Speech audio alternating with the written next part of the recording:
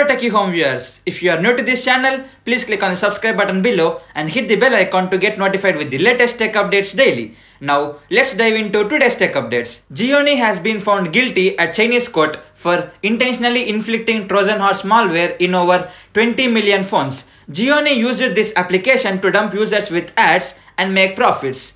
Both the parties have been reportedly punished with 3 years and 6 months of jail term and slapped with a fine of 2 lakh yuan, which is roughly around 22.5 lakhs INR. Twitter released the most used hashtags of 2021. It is said that the hashtag COVID-19 and the other variants were tweeted nearly 400 million times, while hashtag stay home was the third biggest hashtag of the year. Oppo Find X3 Pro specifications have been leaked and said to feature a two 50 megapixel cameras and this will be amongst the first few models to come with the newly launched Qualcomm Snapdragon 888 SoC. Oppo Find X3 Pro is said to have a Quad HD Plus display coupled with dual cell 4500 mAh of battery. For more details on the specifications and pricing of the smartphone, please click on the suggested link at the top right corner of the screen or head to description below. Apple could reportedly unveil its rumored AirPods Studio headphones today that have been subjected to several leaks in the past. And also Apple claims to launch its new Mac processors as early as 2021 to compete with Intel's fastest processors ever. WhatsApp has rolled out a new handy feature that will allow WhatsApp to make in-app announcements for new updates.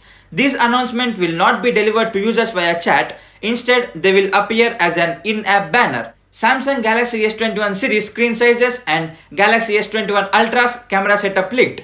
The Galaxy S21 is set to come with a 6.3 inch screen and Galaxy S21 Plus with a 6.7 inch screen and finally the Galaxy S21 Ultra is set to come with a massive 6.9 inch screen.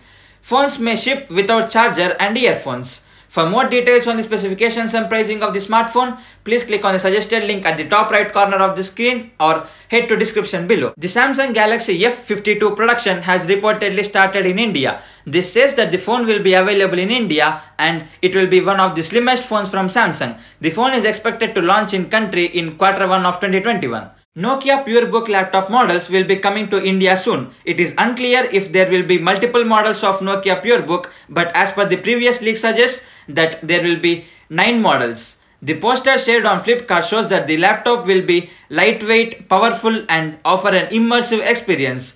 There are no details on the specifications or pricing of the Nokia PureBook and there is no release date either.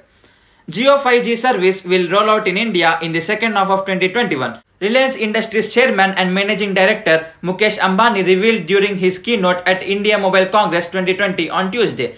Apart from rolling out 5G in India, Jio is in development of an affordable Android phone in collaborations with Google that is likely to debut in the coming months.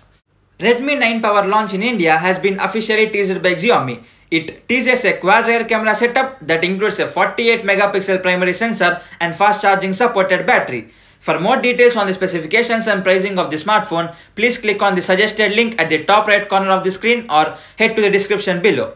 Moto G9 Power has been launched in India. The new Moto phone comes with a large 6000 mAh battery. In addition, the Moto G9 Power also comes with a hole punch display design and triple rear cameras paired up with 128GB of onboard storage. For more details on the specifications and pricing of the smartphone, please click on the suggested link at the top right corner of the screen or head to description below. Twitter has released its most tweeted and most liked tweets of the year in India.